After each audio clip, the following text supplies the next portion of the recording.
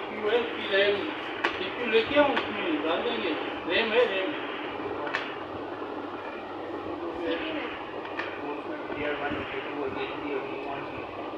आपके पास कौन सी है? बहुत सी मुझे हर हो जाएगी दो कर उसमें रहता था दस पौने दस बजे तक कल खुला हुआ?